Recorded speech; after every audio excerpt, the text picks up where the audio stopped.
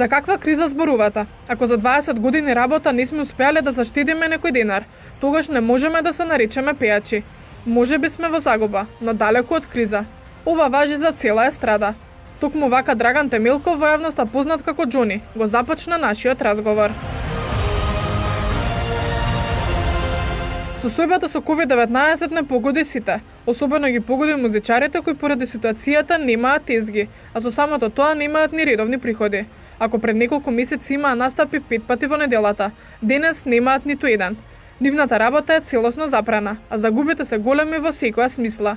Но и покрај се, тие не се во никаква криза, барем така вели Драган.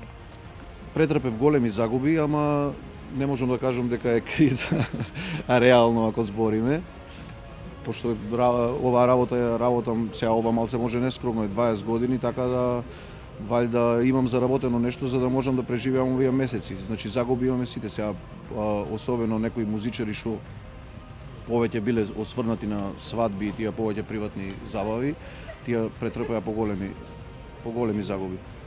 Драган, дали може би ти побара помош од државата? А, секако дека не сум побарал и нема ни да побарам. Така да предходно кажав примерот за 20 години ако не сум створил за да преживеам сега ова, не знам зашо сум пеал. Не сум се сликал со бакшиши како останатите што го правеа и повеќето што бараа помош од државава.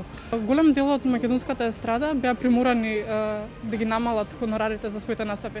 Дали тоа беше случај кај тебе? Па види, јас од, од, од почетокот на кризата, тоа е од почетокот на март, пример последна свирка мене ми беше на 7 март, 8 март уствари го фативме и нели после тоа почна кризата.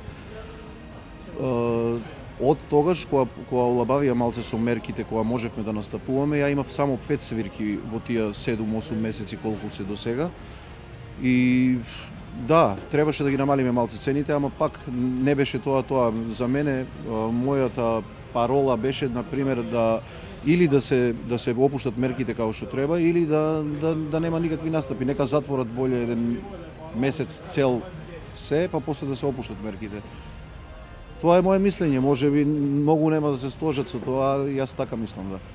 До нашата редакција стигна информација дека токму тој присуствувал на свадбата на внуката на Амди Байрам во Турција. Затоа и го прашавме, дали таму успеа да ги врати парите кои ги изгуби за овие 8 месеци не знам од кај ви информацијата. Да, точно присуствував. Јас бев гостин. Значи, имаше многу спекулации, 90% од работите не беа точни, таму се почитуваат сите мерки, значи во секој во секој хотел, во секој ресторан кај што се влагаше, се мереше температура, имаше значи се беше по сите протоколи. Немаше толку гости како што збореа дека имат 600-700, имаше околу 60-70 гости и а, дали успеав да ги вратам средствата? па ова ќе го зачувам за себе сега, е такво време. Заклучокот е еден. Се додека трае пандемијата со коронавирусот, естрадата нема да биде функционална. Надеж и жилба за подобро утре има кај сите, а дали тоа подобро утре доаѓа наскоро, останува да видиме.